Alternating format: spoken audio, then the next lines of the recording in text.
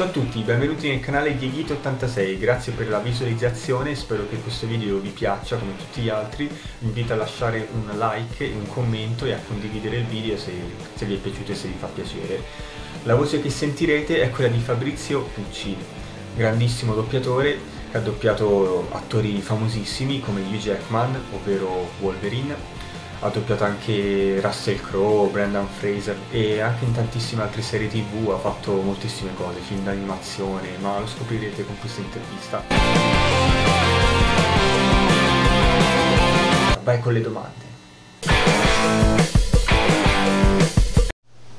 Beh, sarebbe anche troppo scontato dire, dire, Wolverine, è chiaro che mi diverto come un matto quando faccio Wolverine, ma invece in realtà quello che mi è piaciuto di più è stato mh, eh, quell'altro film con Meg Ryan e quello è, è, il film che di lui mi è piaciuto di più fare però poi chiaramente anche, anche Wolverine eh, ha un suo perché e stiamo per partire con un altro tra l'altro.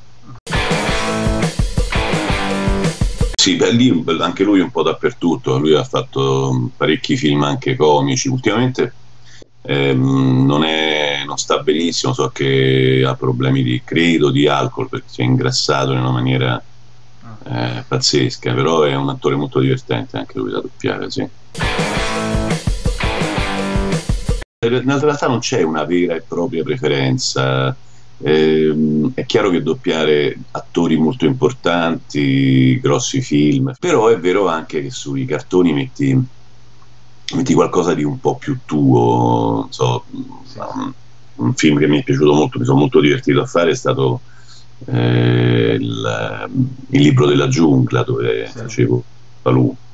e, e, lì mi sono divertito tanto anche perché eh, tanto cantavo che è una cosa che amo molto uh-huh. e, e poi perché il, il primo mh, film era doppiato, Balù era doppiato da, da Locchi, che è un grande doppiatore del passato che io ho sempre stimato tantissimo, quindi puoi immaginare in qualche modo come questo, questa sorta di, eh, con grande rispetto per Pino, di, di passaggio di consegne mi abbia, mi abbia reso colmo d'orgoglio i più recenti so che hai fatto Le Cinque Leggende.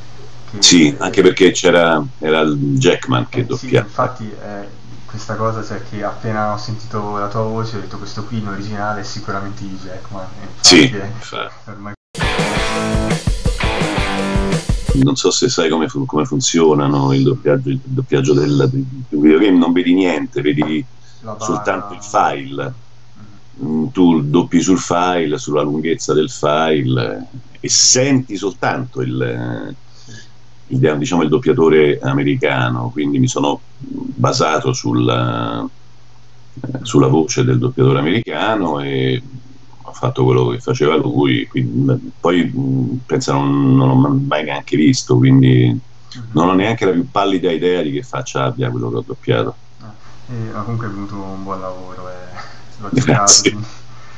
Me l'ha detto il mio, il mio, fonico abituale che invece è un grande appassionato di, di questo genere di videogiochi per cui lui invece subito mi ha detto non ho visto, hai doppiato quello eccezionale, non è scatenato, sta sempre attaccato alla Playstation, un pazzo. Sì, quello è stato una delle tante condivisioni con, con eh, sì, beh, io e Luca spesso ci, ci intercambiamo su attori, su...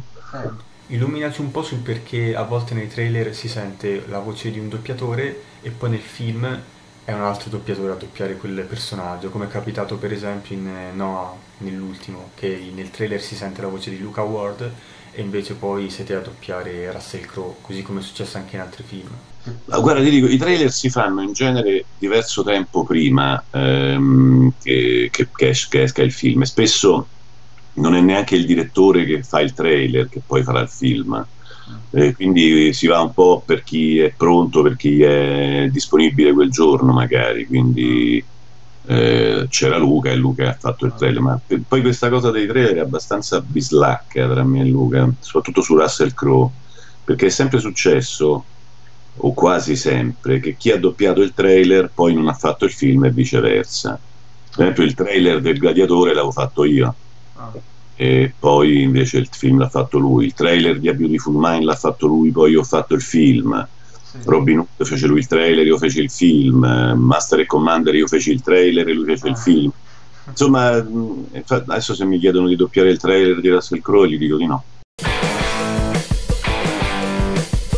Guarda, il film non era male, io mh, mm, che sono un nerd un po' da questo punto di vista, infatti non è casuale che diriga tutte le serie televisive della Marvel. Spawn lo, lo conoscevo chiaramente per i, per i fumetti, eh, il film era fatto molto bene, ma era, non era tanto aderente al, eh, al, personaggio dei fumetti, mentre per esempio il, il, cartone, ho doppiato anche quello, lo era molto di più.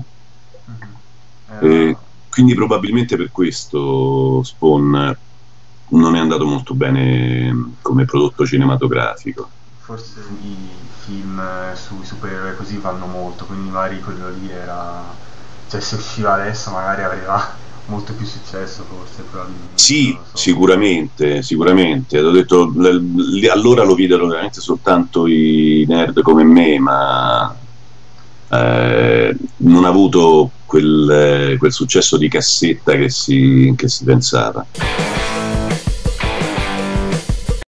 Allora, è stato molto casuale perché io chiaramente vengo dalla, dall'accademia di recitazione, ho cominciato col teatro, e, solo che in quegli anni, eh, come dire, ero molto giovane, quindi eh, mantenersi era un po' complicato, un po' facevo quando non, quando non lavoravo in teatro, eh, facevo il cameriere in un, eh, in un pub, eh, vendevo enciclopedie mediche, insomma, ne ho fatte un po' di tutti i colori. Eh, e ogni tanto facevo anche un po' di, di, radio, ho fatto radio anch'io, voi ed io, che erano delle trasmissioni di quegli anni. E in una di queste ho incontrato, ho conosciuto Silvia Monelli, che era una direttrice di doppiaggio già affermata, e lei mi disse: ah, Tu c'hai una bella voce, sei bravo, ma perché non fai un po' di doppiaggio? Ti posso chiamare? Io ho detto: ah, per, per la miseria, certo che sì. E quindi eh, lei mi ha cominciato a chiamare a fare delle piccole cose in doppiaggio uh-huh. e mh, mm, quindi alternavo un pochetto perché il doppiaggio allora era molto remunerativo eh, quindi quando non facevo teatro facevo doppiaggio quando non facevo doppiaggio facevo teatro insomma eh, era, era, un po' come dire c'era un, uh, un'alternanza tra queste due cose sì, sì. poi verso i 30 anni ho cominciato a soffrire un po' di più il fatto di di essere sempre fuori casa, di, non, di passare otto mesi, nove mesi in giro per, per l'Italia, per le tournée.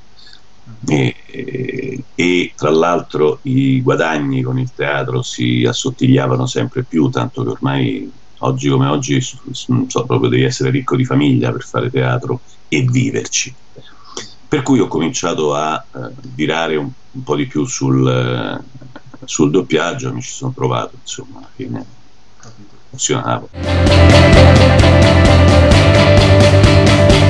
Vi consiglio di seguire Dieghito 86 perché io perdo facilmente la pazienza. Thank